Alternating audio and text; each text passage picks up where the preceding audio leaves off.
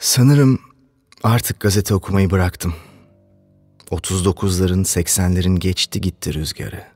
Bilgiye sığınmak devri belki de bizim gibi eski topraklar için bitti. Zamanında laf olurdu dost çay içmeyenler.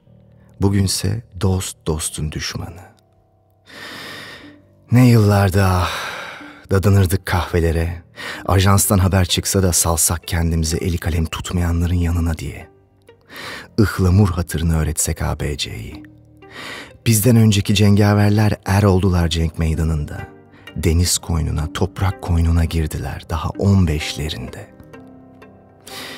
Nice gelinler kaldı dul, nice çocuklar öksüz.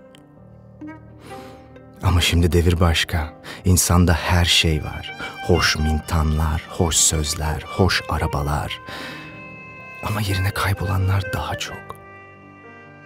Bizde çocuk sabidir. Bu nesilde olgun kadın er. Bir bakmışsınız sokakta çöp topluyor. Bir bakmışsın bir sakallı adamın yanında gelin.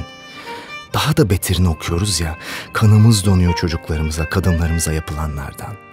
Dedim ya, artık gazete okumayı bıraktım.'' Bir gri bulut ki sormayın ne zamandır tepemizde. Her yer yağmur.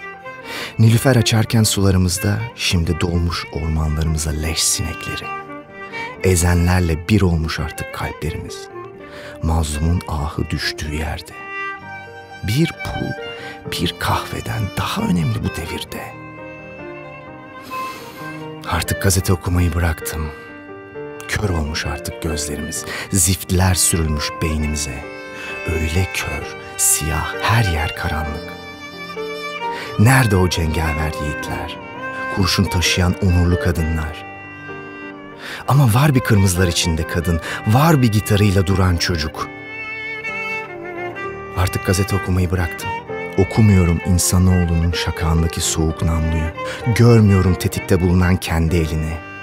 Artık gazete okumayı bıraktım.''